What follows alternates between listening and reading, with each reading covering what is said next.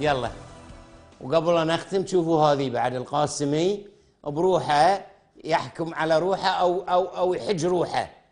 خلينا خلينا نسمع نشوف ونسمع وبعدين نشوف نعلق. نزله يا أخوي نزل ال- الهاشمي في لندن. أوصلنا رسالة شعب البحرين إلى كوريا الجنوبية بوضوح تام.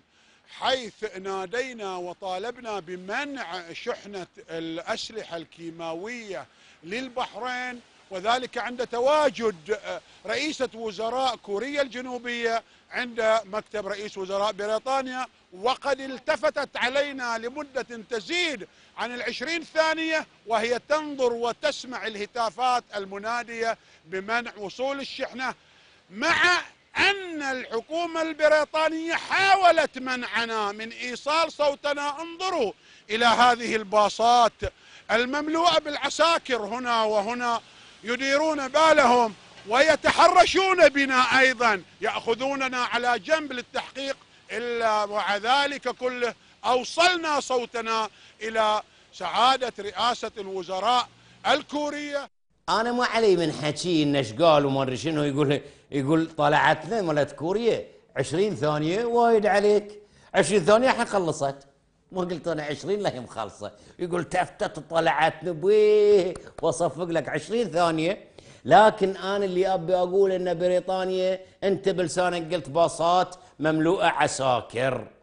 عدل لا ويتحرشون بكم. ممنوع. في بريطانيا لأنكم كنتوا طالعين تظاهره هناك فمنعوها انت بروحك شهدت على روحك في بريطانيا في أم الديمقراطيات. منعوا تظاهركم وترسوا باصات بالعسكر على لسانك. باكر بتنكر وبتقول بريطانيا بلد الحريات والديمقراطيات؟ نعم. لكن القانون قانون. القانون قانون. لا تقولون بس البحرين عساكر وما شنو. إذا خرجتوا عن القانون العساكر تردكم. والعصا لمن عصا يا جماعة؟ هذه هو الواقع وهذه اللي لازم مملوءة بالعساكر ويتحرشون بنا وياخذوننا على جنب للتحقيق. بروحه قالوا سمعتوه. إيش معنات ذي الكلام؟ معنات ذي الكلام واضح ودقيق بأن هنا قانون ما في شيء فالتوه. ما في حرية بلا حدود ما في قانون بلا حدود ما في ديمقراطية بلا حدود. تعالوا نقول وتعالوا نسوي ولا أنت يا مصاص الدماء أيها الشتام الكبير. لكن شو نقول؟ يبناها عليك وشهات على روحك. حط لي فاصل.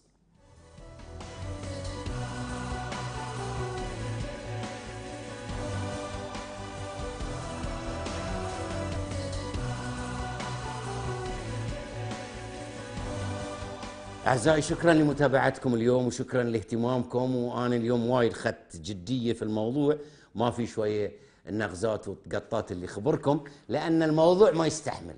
الموضوع يجب أن إحنا ناخذه بهذه الجدية فيه التحذير فيه الطلب باسمكم في البحرين والخليج العربي على تطبيق القانون على كل متطاول على القيادة وعلى كل من خرج على القانون.